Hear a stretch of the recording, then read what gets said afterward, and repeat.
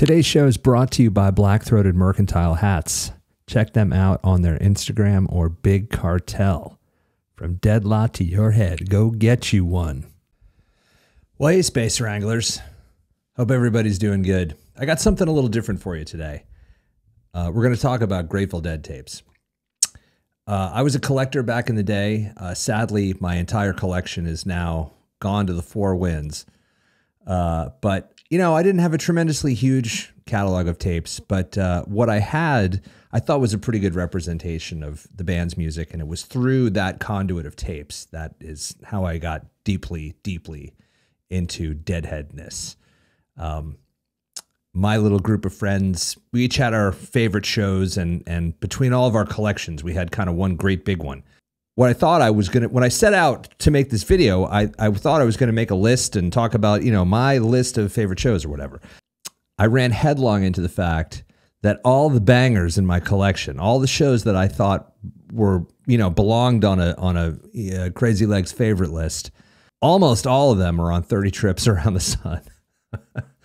uh, the Zenith show from 1990 in Paris, Oxford Plains in Maine, uh, the Miami Dark Star from 89, of course, uh, 91887 from MSG, and uh, October 1st, 1994 and Boston, from Boston Garden. All these shows are, are on 30 Trips Around the Sun. if you're not familiar with that box set, uh, in about 2015, The Dead put out this giant collection of shows 30 shows, one show from every year of their career that was, you know, deemed by the curators. Um, the best of that year, and it's it's a really well curated selection uh, of performances. It's like 88 CDs, and it's pretty much unobtainium on the secondhand market. I, I didn't have the wherewithal to get it then, and I don't now. um, all of those shows are on uh, the archive, of course, or or re-listen, um, and uh, it's a great starting place. But I still wanted to put together a list of performances that maybe have slipped by people's attentions. And I realized this task was kind of beyond me. Um, so I reached out to Ed, who runs 31 Days of Dead on Instagram. And if by some miracle you found your way to my presence here on the interwebs and you're unaware of him, stop this. Stop this video and uh, go seek him out. He posts almost daily on Instagram, and uh, it's uh, always well written and it's very insightful. And I've learned um, something basically every time I've scrolled through there. So uh, I'd like to bring you my interview uh, with um, 31 Days of Dead. Um, I was going to chop it down and release it in small little bits, but um, it's about an hour long, and the conversation kind of flows. We we jump around a lot, which is totally my fault. Um, I was pretty animated and excited, and um, I'm not the most systematic of amateur interviewers. So um, I apologies for that. But if you hang through to the end, um, I'm going to uh, post a, a, nice complete list of the performances we talked about so that you can go out and um, have yourself a ball um, listening to some of these great dead shows. Uh, if you've made it this far into my uh, rambling monologue, please take a second and subscribe. Uh, we would love to um, see you back here, and that will ensure that we'll run into each other again here. Thanks for watching, and I hope you enjoy the interview.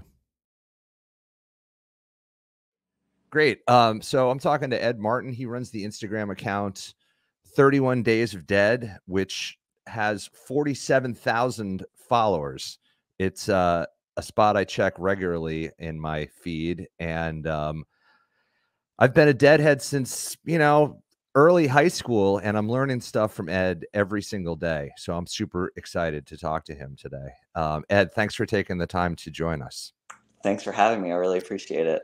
Yeah, you bet. So I'm working on a project um, about my favorite unreleased shows. And so when I say released, I mean just in the panoply of Grateful Dead releases, of live releases, going back to kind of what I consider like one from the vault, Dick's Dick's picks one kind of early 90s through the latest Dave's picks. Sure. They put out they put out a lot of material. Um, and I still think there's some there's some nuggets in there. And actually your feed constantly points them out to me. um I, I like to Yeah, I like to think I know my way around the band's music, but there's so much out there still. So, um, what like what what springs to mind for you for stuff that that has that you can't run out and buy a CD of right now? Um, well, I, you know, believe it or not, there there's a, there is a lot. You know, I started getting discouraged when I was doing this project because I was like, well, they keep releasing all these releases, these official releases, and there's going to be nothing for me to do for my projects. but um, but there there there there is. Um, so, for example, um, I just in '73 they've released a lot of '73, but um, there's a lot from February of '73 they haven't released. For example, um, the first show of the year, February 9th in Palo Alto. Yeah. Um, and then the Madison show from 215, and even um, the St. Paul show 217 and the 219 show. So those are you know great shows from February. There there is some representation from March of that year, mm-hmm. but um, really not that much from February. So that that seems like an area that is ripe to be released. Um, well, speaking of 73, the, so the one um, I I I like I said, I, I, like to think I know my way around the catalog, but it's just just in the last year I read um, uh, Deadology by Howard Weiner, and um, he great writer. Yeah, it was such a great read. It, uh, the the um the way that he laid it out was really interesting, and the shows that he focused on was were really interesting too.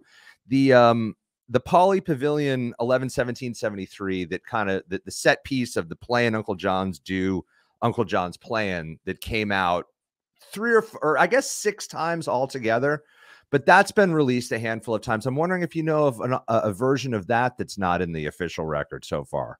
Ah, the play and palindrome, one of my favorites. Um, so I think uh, I think it was only played three times. Oh, um, oh, really? One was at the Pauley Pavilion on 1117, and then um, there's the Cow Palace on 323, and um, I think the first one was actually at Winterland, uh, 11 10 73. Um, there was an almost one on 11 1, uh, but I think they missed Uncle John's. I think it was uh, Morning Dew and Playing the Band, or they just did it in a different sequence, not quite the the palindrome. Yeah. But it was just those three times. And I guess actually 1110 was released as part of the Winterland box set. So I think all of those have been released. 73. My favorite dead, well, I have a lot of favorite deads, but my favorite dead is dead, what I call dead in transition. So like Pigpen checks out you have kind of like new songs in 73 you have keith really kind of flourishing and they're like they're firing on all cylinders and they're like young guys too you know oh, there's the energy is amazing yeah and it sort of happens there's a reprise of that in 79 with brent when he joins the band those Absolutely. rehearsals are incredible uh, and that fall tour is there's just so many nuggets on that that are that are um, really really good you know Absolutely. So, you know, one of the ones that I think that they could release uh, in 79 um, with Brent, I think they were really, as you said, firing on all cylinders by de- November and December of 79. Um, things had really gelled together. Um, you can see it in the end of October with the, the Cape Cod shows. Yeah. Um, but in December is particularly, November, December is particularly good. Um, there's a classic tape that I had, and um, it seems to be forgotten about um, but uh, December 1st, 79 um, from Pittsburgh. Yes. Um, yeah, that's a great right? show. I had that tape too. Yeah. yeah. So it's got a great He's Gone um, with a Gloria jam in there. So um, that that's one that, that could be released. It's got a nice jam. Uh, it's very similar, not, not similar, but you know, the same way as 5 uh, 6 81, where the, the He's Gone just kind of takes off into yeah. uncharted territory. Um, let me back up a second. Did, were, were you a, a, taper yourself, or just did you trade tapes, or have a large collection, or what? What was your your linkage to the catalog? I had a great collection. I had some great contacts. Um, I even had some people um, in Germany who had oh, attended wow. the, some of the Europe '72 shows.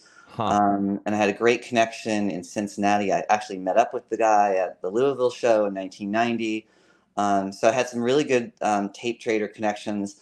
Um, I'm not that techn- technically savvy. Um, so, um, I, you know, I, I didn't, I, I, did tape a couple shows. There was a, guy, a friend of mine who was a taper, and mm-hmm. there was a run in Denver in 1990. He was not able to attend, which I was attending. So he gave me his tape equipment and said, just have at it. So we sat in the taper section. and that was a really cool experience. I think everyone should or should have experienced at least once in their lifetime. Um, yeah. It was a lot of fun. There's a lot of pressure. yeah, yeah, I could imagine that. Um, I guess if you're used to it, um, you know, it becomes a lot easier but I felt a lot of pressure. Like I really wanted to, you know, perform for him very well. sure. Yeah. There was a really great, I'm a huge fan of uh, Valley Road. There was a great Valley Road in that run. Yeah, there was. Yeah. Yeah. Yeah, yeah, that's fan. I taped. I, I had a similar, similar. I had, I had not a very deep. I, I was born in '76, so I was in high school in the early 90s and uh, my freshman year at college was 1994 and I, I, had a taper friend there i got tickets to see this uh, group Bad Hat, which was Trey Anastasio and a bunch of local guys perform at the local theater. And he yep. gave me his tape deck, and I was in the front row. And I set up the mics, and like halfway through, I got, I mean, I, I had it rolling. I had the DAT spinning and everything. And like halfway through the first song, somebody from the theater came over was like, You can't do this here so I had about 90 seconds of tape, and that was that was my one foray into tape. Right. And I mean, I was probably 10 feet from the band. Like this was all it was just like that rerun thing and what's happening, you know, with the Doobie Brothers. Yeah. Um, yeah. So uh, at, at any rate, yeah, I I um I, I, collected tapes myself. I they're all gone now. I've had to kind of re reacquaint myself with the collection or with the you know the Canada material, and I, eh, really the, the, reason I reached out to you was all of my go-to stuff, all of the tapes that I wore out, almost without exception, are on 30 trips around the sun. All of my favorite shows. Uh, 91887 uh, mm. is is I think probably my may, may it's hard to say which is my absolute favorite, but th- that's a favorite of mine. Uh, 91091 that that had just happened when I was a sophomore, junior in high school, and we wore that tape out. I mean, that was a really you know latter day special show. I was at the Boston Garden 10 194 show. Wow. Which I consider really like the last great dead show. Um, mm. and I'll, I'll tell anybody that that will su- suffer me. yeah, my opinions. Um, yeah. Anyway, um, yeah. So, so it's, eh, you know, I had probably 100, 150 tapes back in the day, but they're all gone now. And, um, so I'm curious about this this like unreleased trove. So 73. Okay, great. Let's um yeah, let's let's move on. What what are some other eras do you think are are, are uh, some other veins that are untapped?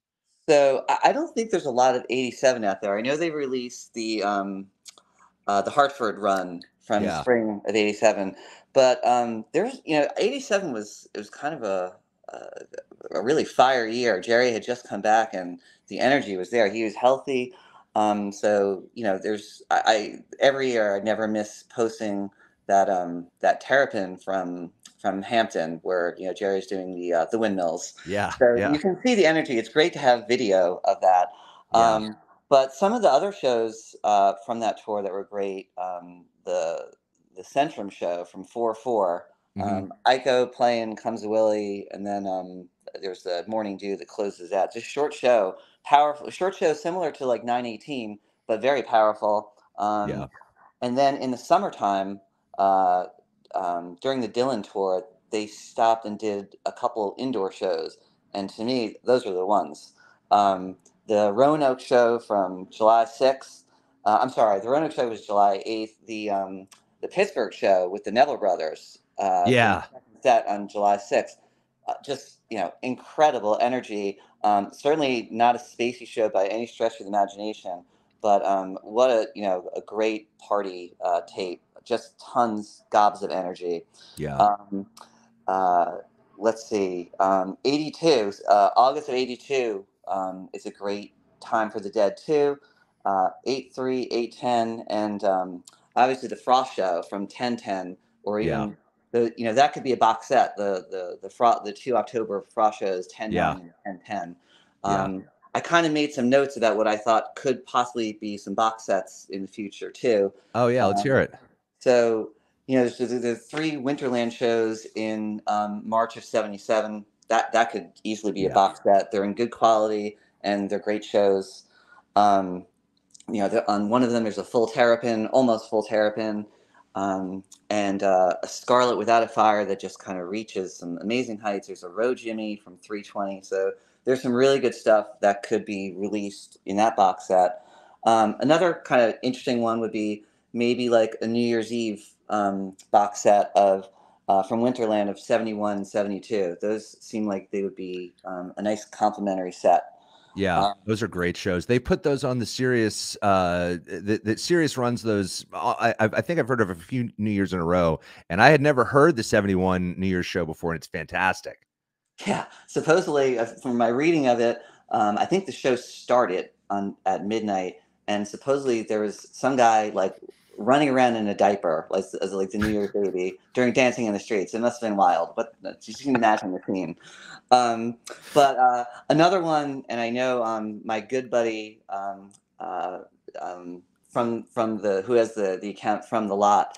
Um, he loves the Ark shows. That, that for him, that's it uh, from '69 those three shows would make a nice box set. I'm not sure if the quality, the sound quality, is up to par with what the Organist of the Dead might want to release, but yeah, I, it, to me, it's good enough, and it probably be good enough for a lot of other people too. Because April '69 was another great time for the Dead, um, and um, the Orpheum shows from '76. I know only 717 has been released. That's a great show. The Comes a Time is you know for the ages. The the yeah, the outro jam from that, but um, you know, 718 is a great show, and then 712 through 714 are also good. I think there might be some problems with sound quality. That's maybe why the hesitation.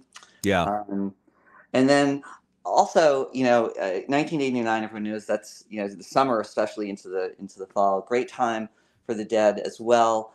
Um, I know Downhill from Here was released as a video. I don't think it's been released uh, as audio. Um, and that could make a great box set too. I mean, yeah, it absolutely could. I, the the truncated. I know that that was kind of the trend at the time of of doing those truncated edits, uh, and it, it does flow well as a show. But both of those performances are standout. And I, I mean, I would say that uh, I I don't I should have looked this up, but I don't know if Miami 89, the Miami Dark Star, if that hasn't been released, it really should be because that's that's it, it was actually it was on the the 30 trips. That's another one that's on. Oh, it is. yeah, I mean, that's the thing. Like, so you know, I was checking some of this stuff out because I was like, wow, you know, before before our, our, call here. Yeah. Like, I got to check to see what's been released because there's been so much released that I'm yeah, yeah, yeah. The, a lot, a lot of the stuff that I really um you know, my dad is who got me into the dead, and, and I remember driving around the block several times with him playing him. It was either, I guess, 610 76, the, the Boston show that has Great this one. incredibly powerful St. Stephen. It's really my favorite, like latter day 70s St. Stephen. Uh, and I it, there, there was great circulating soundboards of that, and then that that is now a box set, which is Fantastic. Six, is, that the one you saw? Six nine. The Six nine. Yes. The bust out. Yeah. Yeah. Yeah. Yeah. It's really incredible. That yeah. June seventy six um, was a wise choice for them. I think they really do make good curated choices with their releases. Um, but they're they're hammering through it, and I totally agree about 1987. That um, that year, uh, the band was really, really in fine form, and yeah. the playing was great. You know little underrepresented. Um, from 76, another one that, that uh, would be a good, it's kind of an interesting show, is 628 76, which has the Happiness is Jamming, uh, Happiness is uh, Drumming uh, Jam. Which oh, wow. Is the, which is the embryonic version of um, Fire in the Mountain, an instrumental version of that. Wow. Um, I think that then goes into Eyes of the World, and I think there's a Wharf Rat. Um, that's a really interesting one. Another interesting one um, I've put this on my projects a couple times. I always try and put things in my projects that kind of like maybe give the dead like, you know, maybe they might listen to me, but I doubt it. but uh, I always try and put things on that I want them to release. Uh-huh. Um, one thing I put on, and many things, in, in many ways, a lot of them have been released. I, am not going to say it's it's because of me. It's because they're just great shows and they're they're releasing them. But um, one show I would love for them to release is 112078 from Cleveland. Um, short second set, but it's interesting. I think there's a um, like a, a, playing shakedown. Um, if I had the world to give, um, which you know is a, a show, it's a song I love, um, and it was only played a few times. So um, it kind of, oh, and, and also what's interesting about that show too is the second set opens with drums and then a jam, and then eventually resolves into um, Jack-A-Roe of all things. Oh wow! So huh. I love stuff like that. You know, yeah, yeah, completely different. You know? Yeah, I, I think that, so. It, my uh, my old roommate and longtime listening partner, um, it, it you know, I, I, I to go back to uh, nine eighteen eighty seven like uh, the morning the uh, the dew is uh transcendent that the uh the bird song at the first set is amazing but the, it, it's not really like, like, the novelty but just sort of the zeitgeist moment of the good love and la bamba. Like i was a kid then we had mtv they played the shit out of that la bamba video all the time. That was in that was in the air and it still makes the hair on my arm stand up when jerry belts out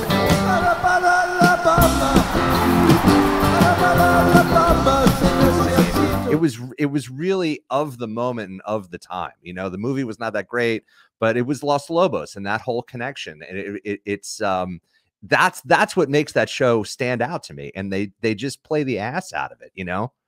Absolutely. I actually um, was fortunate enough to be present at that show.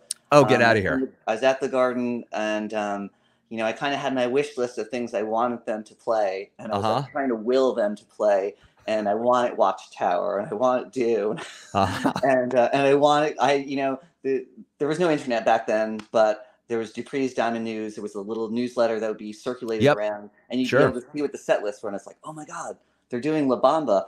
I was like, that's pretty wild. Um, and how would that work? And you know, so I had no idea because I didn't hear the tapes or anything how they were going to squeeze that in between Good Lovin', and when they did it, of course, it made a lot of sense. And yeah, you're right. La Bamba um, was a song that was um, popular was, uh, at the time. It was on it was on the music charts, and so um, and the, the, Dead, of course, were on the music charts also because Touch of Grey was um, right.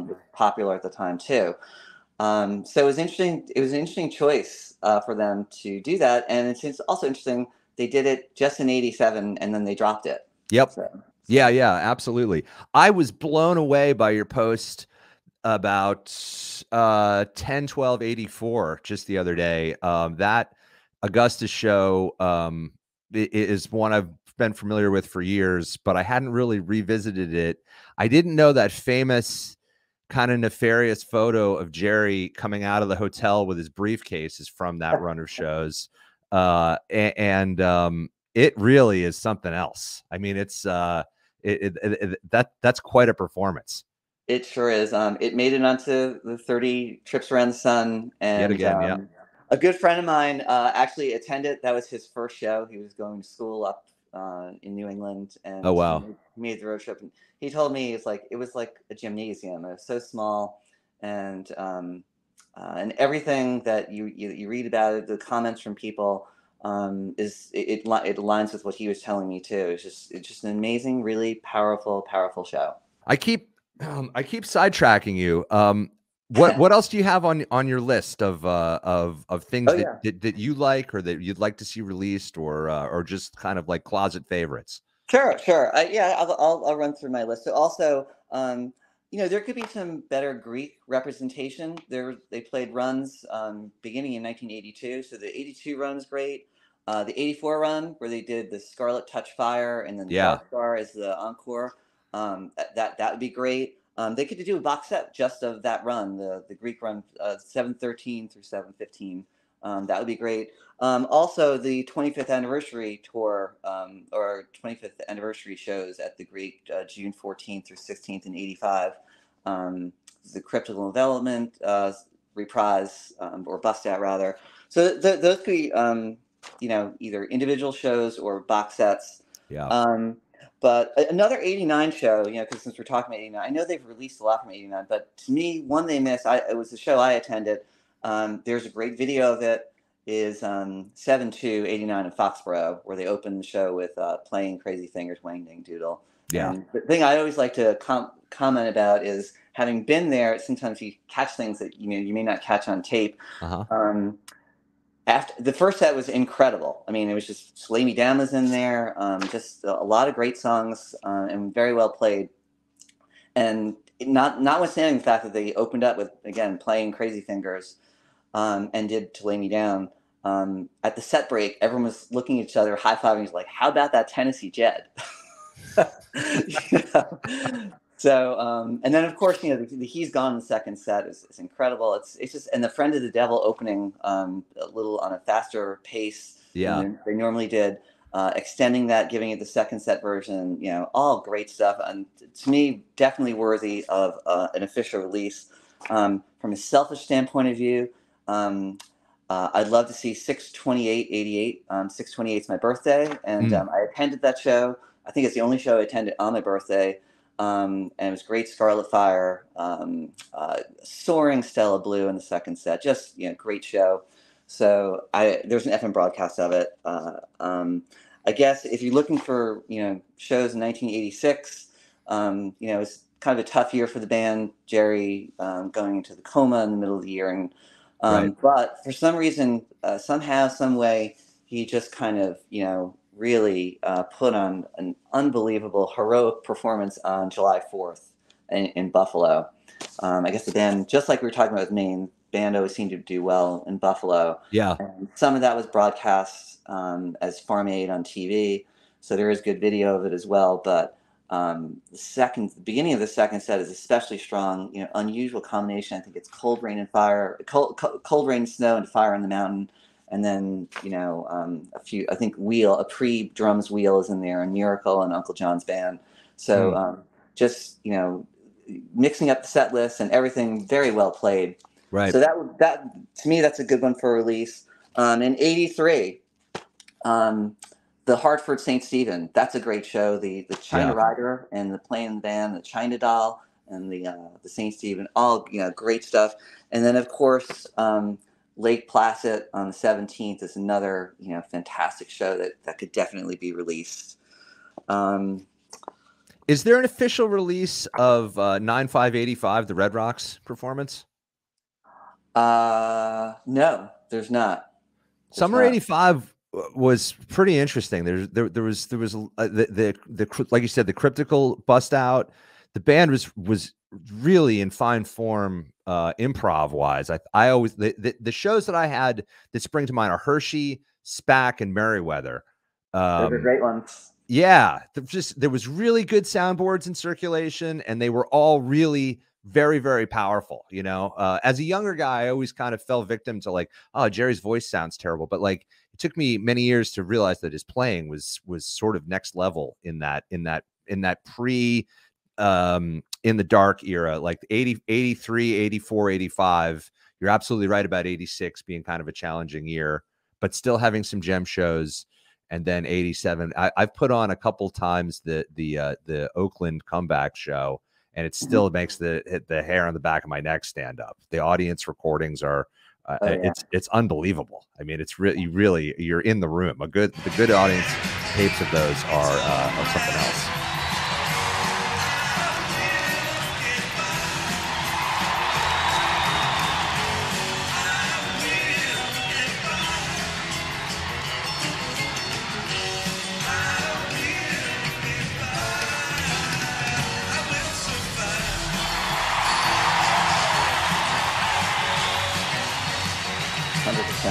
And uh, you're right about.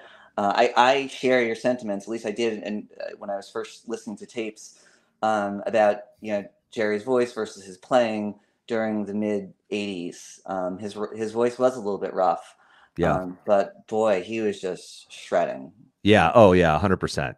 Yeah. I mean, it's it, it's you have to. It, it, there's a, there's a kind of high bar uh, to entry. You know what I mean? Because of that, and uh, but when they were hooked up, it was really something else. I mean, the the, the band eh, that that was a great arrangement of of the great that was a great version of the Grateful Dead that they fielded every night. The Howard Weiner book put me on to 21779, the uh, Keith and Donna's last show. Uh, mm-hmm. That I had never really listened to that much, and it's fantastic. It there's, is. there's busts out in the first set. The playing in the band is sort of like the last like jazzy Keith influenced psychedelia. You know what I mean? Because the improv changes with Brent. It's a different, there's a different feel to it. Um, and that was sort of a kiss goodbye. I I had I mean, who knows what happens on the inside and behind closed doors, but I it, it seemed to me that they parted on good terms, that he was going off to to uh, start a new project. They were still rehearsing at Front Street. Like he was still very much in the Grateful Dead fold. um, and it was just time for a change for everybody. Uh, so that show to me really does have this kind of like joyful feel rather than sort of this like oh everything like was bad. Funeral. Yeah, yeah, yeah. Because that's what I thought. You know, like it was it was a bad time, but it turns out maybe maybe not. What are your what are some of your favorite audience recording? So um, certainly um, six twenty four seventy. You know, as I was saying before, um, from Portchester, great show. Um, the you know I guess another show uh, that I was talking about before, Frost eighty two. Um, there's the Rango um, audience tapes, which are great, um, and the soundboard's a little bit thin. So I I think there's a matrix of that that could make that releasable. Hmm. Um, uh, what other audience tapes? I mean, obviously, you know, eight six seventy one. That's the the classic. Um, uh, that's the hard to handle and um, the truck and other one um, that that's just a, a, a great um, audience tape um, it has been for a long time um, is that again, the uh, fillmore east no that's the hollywood palladium oh right of course yeah yeah yeah 8671 yeah right right right right uh, that's a great audience tape uh, as well as um, so let's see what else um, you know the, the, the I said the November '70 shows from the Capitol Theater. Uh, those are those are great. Not not as good quality as 624, obviously. Um, and hmm, I have to think about that a little bit. I had I, I, even going back to my early days of collecting tapes. I was kind of a soundboard snob, and it it has taken me a long time to come around to uh enjoying really good there because because there are excellent uh there were people making excellent audience tapes that that just my own ignorance I kind of stuck my nose up at. Uh yeah. and and you know, re-listen in the archive has kind of um turned me on to some of those and it really is sort of an incredible actually that the, the jerry's back show uh, is a good example of that where, where the, I, I kind of prefer the audience recording because yeah. you're in the room you know Yep, and uh, the other one, like whenever there's a bust out, like I featured um, the other day, was the bust out of St. Stephen at the Garden, 10, 11, yeah. 83. And you, you got to have the audience tape for that. That, that yeah. really gives you the, the effect. Yeah, yeah, um, yeah. And it's nice. The, the, tape we were talking about before, 9, 18, 87, I think the Dead were using kind of a, a matrix type of system. And that has, you know, that, that, that has a great audience feel to it.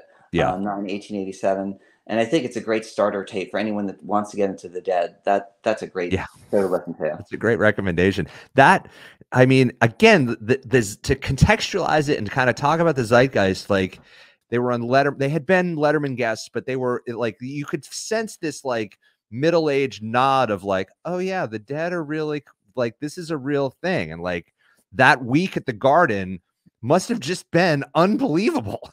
you know, it really was. It the, really uh, was.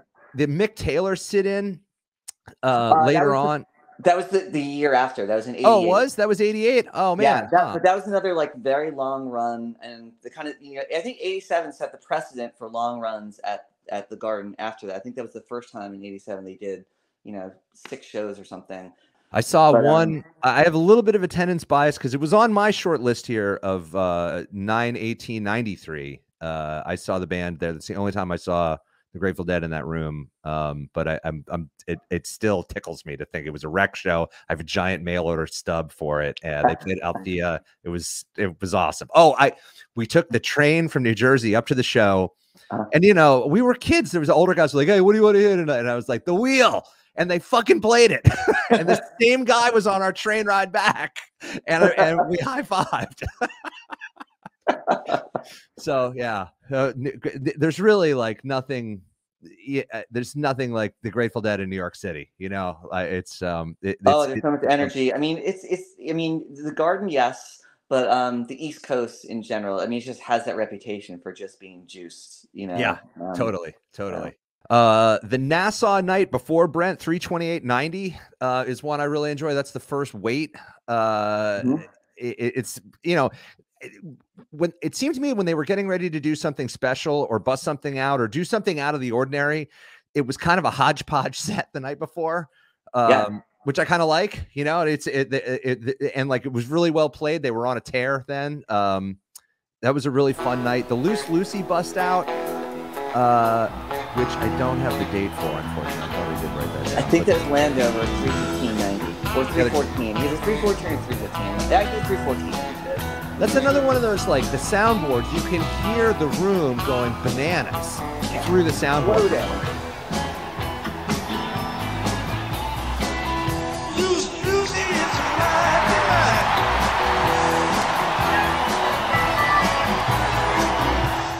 Um, 8173, has that been released?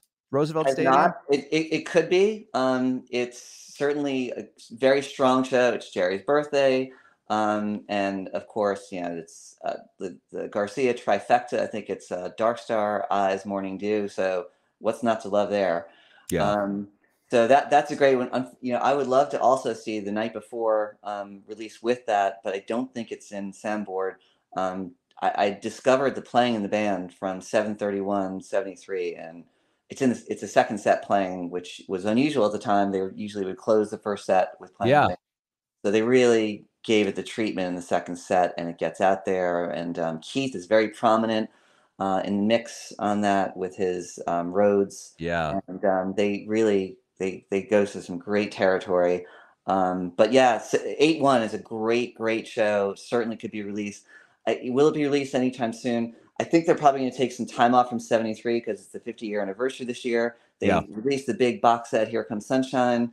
Um, and then they also released the Wake of the Flood uh, anniversary set, which the that also had um, uh, Piece of a Live show from I think 11 1 73. So I think they're probably going to take a little break from 73 for a year or two before they get to that again. But yeah, yeah 8 1 is a good one to release. The the uh, along those lines, they did a lot for for Europe seventy two, three twenty seven seventy two in uh, in New York City is uh, is a Pigpen tour de force. It was a show I was not aware of, and I saw Dark Star do it last spring, and I thought it was an elective set with just one drummer because there's like five, maybe four Pigpen set piece songs, mm-hmm. uh, and it's huge. It's a huge night. It's right in that run of shows. I forget the venue, but it was it was the they left the West Coast, came to New York for a residency for for like seven nights, and then shipped off to Europe. So it was kind of like the the Europe break-in shows. Yeah, and, it was a one uh, It was the, the, Academy of Music in New York. The Academy of Music, exactly right. Yeah. Exactly right. Yeah, yeah, yeah. That's exactly right. Yeah, and there's some great, great uh, shows there, and um, the playing in the bands, you can really get a feel for where it's going because you remember um, playing the band was just like a, a very um, quick song in 71 yep.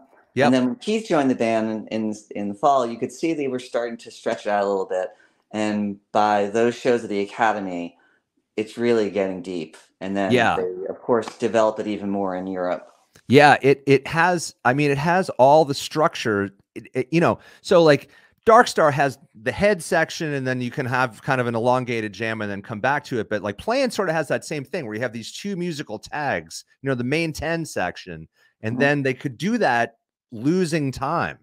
Mm-hmm. And uh, Jerry get on the wah and really like true psychedelic uh, music, uh, on the spot, creative composition, which is uh, really exploratory and a lot of fun to to uh, to dive into. Yeah, that show's great. 327.72 is good. And I don't think that's going to come out anytime soon because of the exactly what you're saying about 73, where it's getting hit pretty hard right now.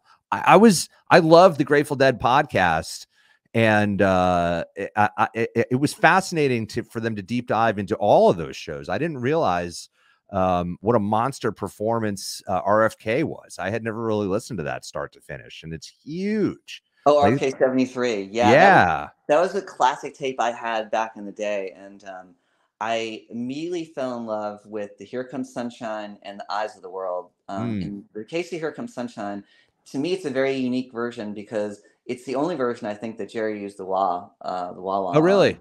Huh. Um, when, when he starts to jam, it gets very drifty, and um, I love the effect, and I wish he had done it more. So that version, I love it for that. It may not be as stretched out as some of the other ones that people think of, like 10, uh, 12, 19, and some of the others. Sure. But, um, but 6, 10, 73 is a special one because of the use of the wah wah.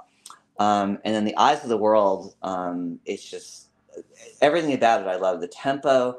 Um, and then when they go into the stronger than dirt section, it's mm-hmm. just I mean they are just on it. Yeah those those that era of eyes of the world is uh is really transcendent. My my personal favorite uh, is is the the uh the pre-hiatus winterland the one that's in the movie basically 10 17 74 oh yeah yeah 10, 10 19 is the one 10, that's in the movie. Oh yeah that that so you know there's a few eyes of the world that are just so special. That is one of them um i think the one from great american music hall is also yeah really special one as well um and then what was but, that tape widely circulated? The Great American Music Hall. That uh, you know, I when when one from the vault came out, I had never heard of it, and uh, and you know, some of the older heads that I that I was around at the time were like, oh yeah, this FM broadcast. We had this back in the day. Was that a mm-hmm. well known performance? It was. It um, was okay. It, it, so because of the FM broadcast, it was also um, uh, bootleggers got a hold of it, and so there were records. I believe the name of the record was called "The Dead at the Make Believe ballroom or something. I don't know why that huh. that was it, but um, yeah, you could get that on vinyl um, as mm. a hmm. bootleg. Um, there were also the FM broadcasts that were circulating. So it was, it was I, I don't know if the entire show uh, circulated, um, but you know, the, the, most of it did circulate. And so it was great when it came out as an official release because it was just higher quality than anybody had ever heard before. Yeah. Yeah, yeah. That that um yeah, I mean, still like that's that's that's a go-to listen for me. The liner notes are great, sort of the technical details of how they did it. Healy wrote wrote, wrote the uh, the liner notes. Uh, oh, what about latter day Grateful Dead? I have I have a I have a short list of stuff, that, but a lot of it's like attendance bias. I, I got to see a handful of shows in the summer tour of '93. Mm-hmm. Um, I think they were playing reasonably well then. Uh, the RFK shows were good.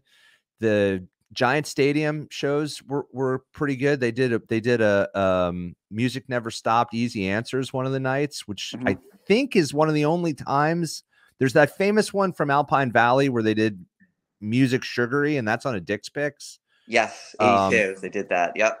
Yeah, that and I can't very clever, very clever transition that one. That yeah, that one really works. I can't think of another one other than that Giants 93. Can you? uh, where music's you know segued into something different. Yeah, yeah. Um, there is one from '76. Um, it was a, a, a, very seamless transition. I featured in one of my projects one year.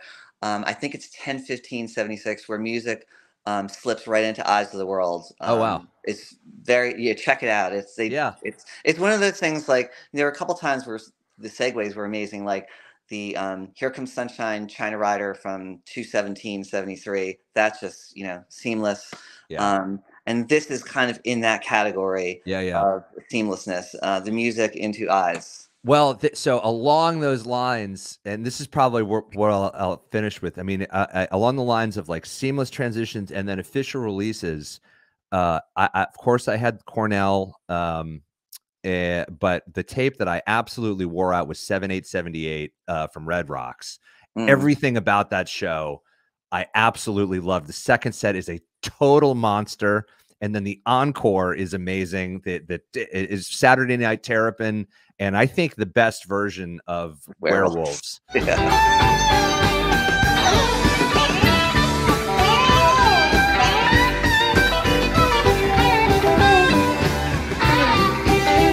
Set piece that the second set uh, hinges around is is really otherworldly. I think that Cornell is a fantastic performance, but that my, my heart and soul rests with seven eight seventy eight. That's that's probably my favorite show. There's something special about that show. Um, you know, kind of like with Veneta. You know, first of all, the uh, the venue itself, the yeah. um, just kind of you imagine yourself being there. Yeah. Um, and then you know, kind of what encapsulates the whole feeling for me is that transition from um, estimated a Prophet into the other one where Jerry kind of turns on the wah again. That's where yep. things kind of you know gets smoky and kind of out there.